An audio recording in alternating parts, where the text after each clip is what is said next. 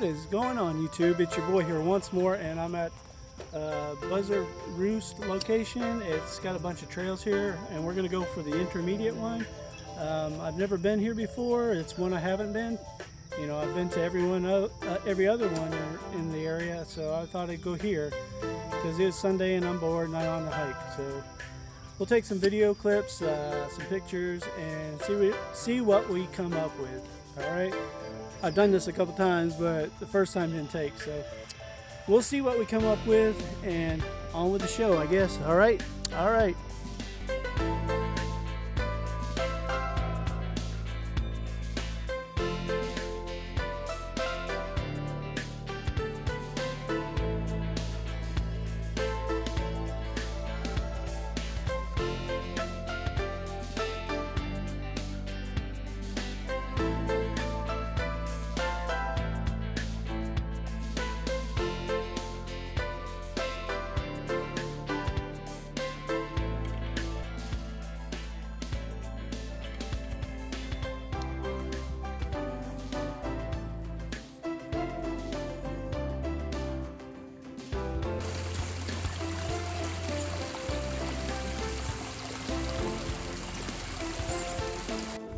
Well guys, I'm still on the trail, one of them.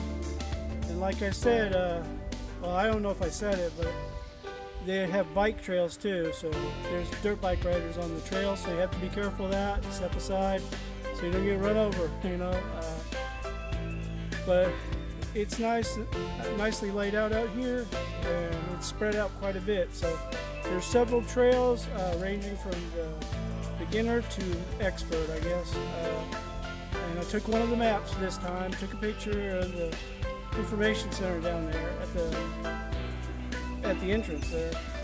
And uh, I'm just taking a breather right now and enjoying the cool air because I've been hiking a little bit, you know, not too long, but I can feel the burn, guys. So uh, I'm just going to continue on with the show. And like I said, on this camera, I don't have shutter control, so I have to go up and push it manually. So.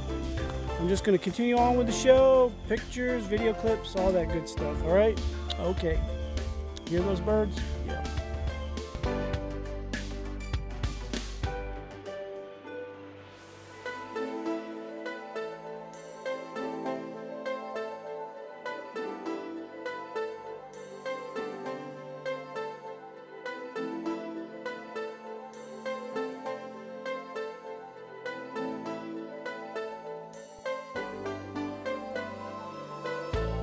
Well guys, uh, as you noticed, uh, I've taken some pictures, taken some pictures of uh, these little uh, platforms or plaques that are lined along the trail. You know, um, I guess it's historic uh, for the Civil War and um, just uh,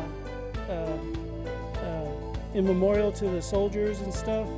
And it gives a recollection of what happened and um, you know, not to choose either side, but it's for the people, I guess, that are uh, from this area or, you know, that had uh, some kind of a relationship with this area. But uh, nevertheless, you know, um, the area is beautiful and uh, um, it's nice that they laid it out like they have, you know, and I've included in the video uh, who uh, created the trail system and stuff. So you can check out the pictures and see. But like I said, there's little plaques, historic plaques everywhere along the, the trail route, you know. And it's also, like I said, it's trail bikes, but you know, pedal bikes, not the dirt bikes with the motors on them. Uh, but it's all good, guys. You know, um, it's a great day, as you can see in the background. It's wide open space out here, this area and I'm still making my way through the trail and I'm to do as much as I can of the trail as I can. But I, right now I'm on the 10 mile bike trail and I don't know if I can do 10 miles today because I got to do the double amount back, you know, so it'll be 20 miles. I don't know if I can do 20 miles today. Uh, but I'm going to do my best and do what I think is necessary uh, for my body, take care of my body because, you know, it is the 29th. Tomorrow's my birthday. I'll be 52. I don't know if I should do 20 miles, you know. So uh, I'll do as much as I can, and then, you know, think about my common sense and balance, and then I'll head back. Okay? Uh, yeah. So uh, hope you enjoy the show, the rest of the show, and uh, like I said, uh, just keep watching, guys. Keep watching. I'm still here. I'm still walking the trail. Okay? All right.